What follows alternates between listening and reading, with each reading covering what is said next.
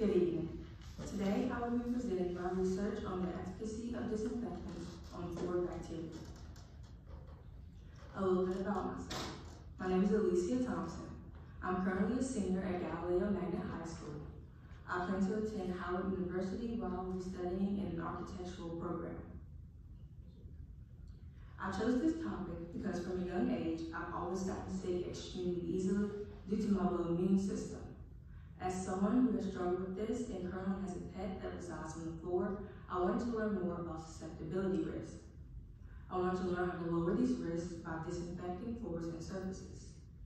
As for the real world importance, finding effective disinfectants for floors and surfaces to help prevent many diseases and keep environments as sterile as possible. Floor pathogens come in various structures, so they can result in various effects in both humans and animals.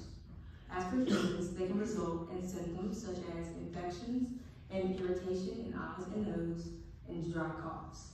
As for animals, they can experience infections as well. There are a multitude of pathogen types, both toxic and non-toxic, and they can reside in any environment as airborne bacteria or surface bacteria.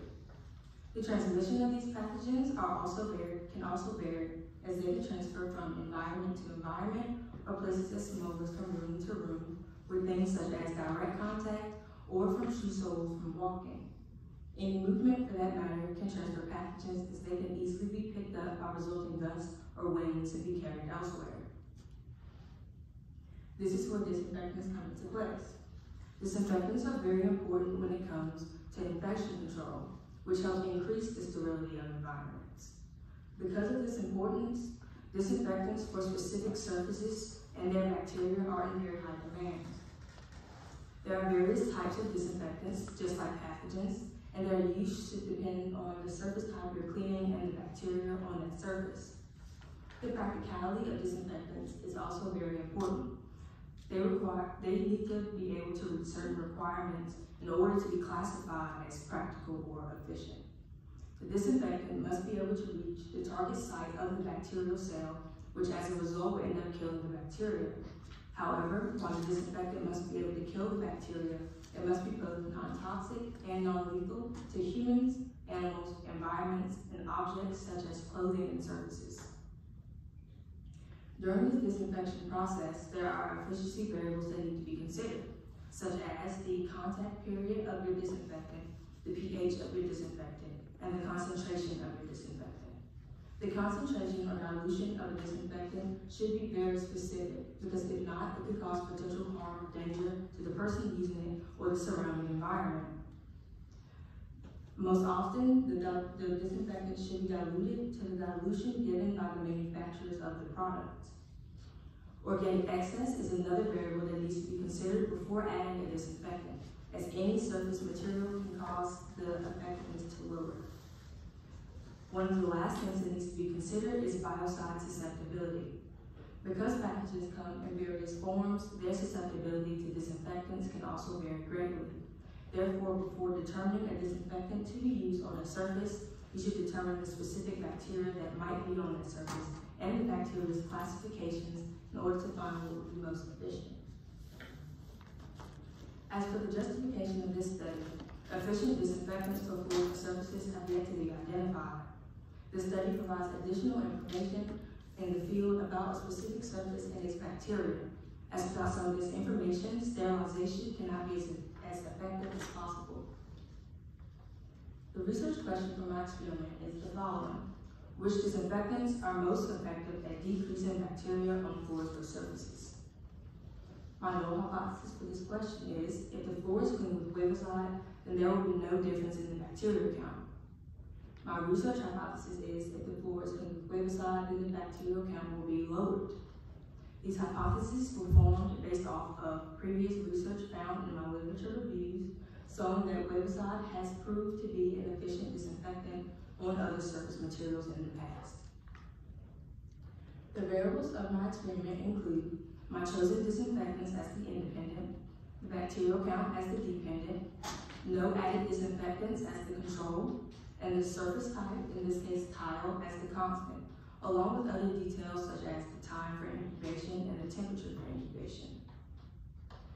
I began my methodology by gathering my materials, my main two being my chosen disinfectants, Wavicide and Phenol Red. I decided to gather a sample size of 30 from a population of all bacteria. I then began labeling my agar petri dishes and my floor sections and began swabbing for my control variable, the bacterial count without added disinfectants. I put those samples into their designated dishes once the control was collected, and I applied my first round of disinfectant, the Wavicide, to the first 15 tile samples. I then swabbed the floors after the disinfectant was applied with a cloth and put those samples into their designated dishes. I incubated the control samples and the 15 Wavicide samples for 48 hours. The next day, I began the second wave of my disinfection, the phenol red, to the last 15 tile samples. I then swabbed the floor after disinfecting with the phenol red and put those samples into their designated dishes. I incubated them for 48 hours as well. Once the 48 hours for all 30 control samples and the 30 disinfectant samples were complete, I counted my bacterial colonies and sure to use bleach to destroy any leftover bacteria afterwards. I completed my work by compiling my raw data and conducting statistical analysis. And the analysis of these results represented here on this graph show the difference between the before and after bacterial count, it can be seen that the Wavicide had an ever so slightly greater difference. With the starting mean of both of these groups being equal, looking at this difference could suggest that the Wavicide lowered the initial bacterial count more than the phenol red, which is seen to have a mean difference less than 100. These results came via a unpaired t-test, and with a significance level of 0.05, there was not sufficient evidence to conclude that Wavicide is more efficient with a p-value of 0.27 on tile floor. The results of my data proved consistent with those in my literature review. These results also concluded that disinfectants had insignificant difference in lowering bacterial counts. To counteract this insignificance, these, these literature reviews showed that additional steps, scrubbing, would have been needed to be added to the disinfection process. The greatest limitations in my study were the lack of measurements and the application process. When I applied the Wavicide and phenol reds to the four sections, I simply poured it without adding a, without using a specific tool to give a measurement.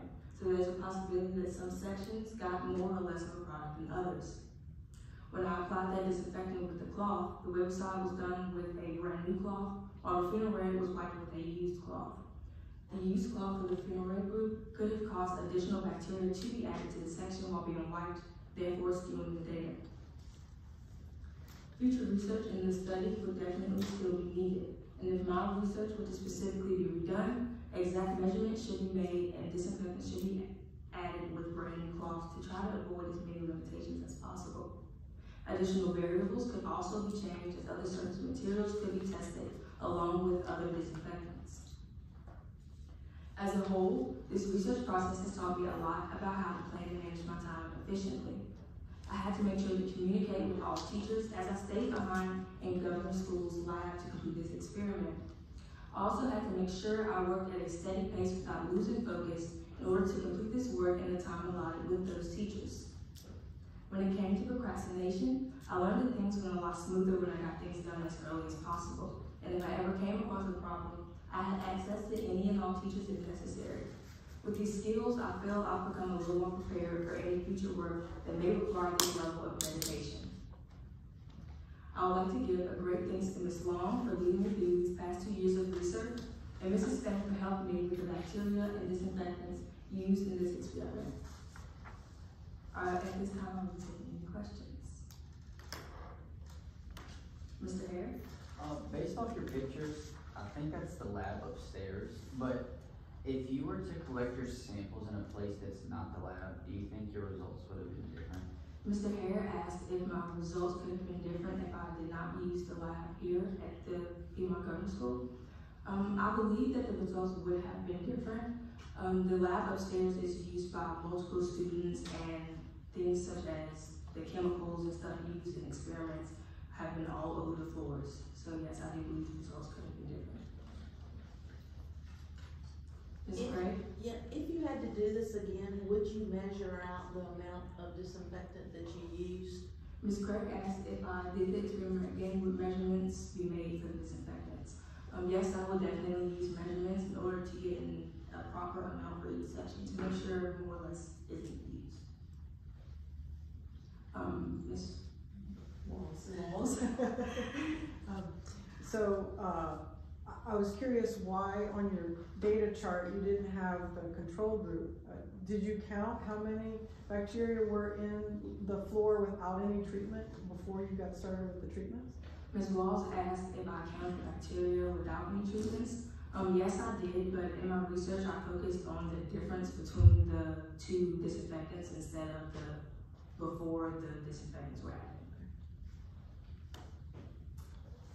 So on, um, on the uh, plates, it looks like a lot of those are, you know, really tightly clustered. Did you have any difficulty with your count? And if so, how do you mitigate that? Um, Mr. Talrico asked if I had any difficulty with my count and how I went about that. Um, I counted as many colonies, individual colonies as possible, and when I came across those colonies that were too large or closely together, I just simply measured them with a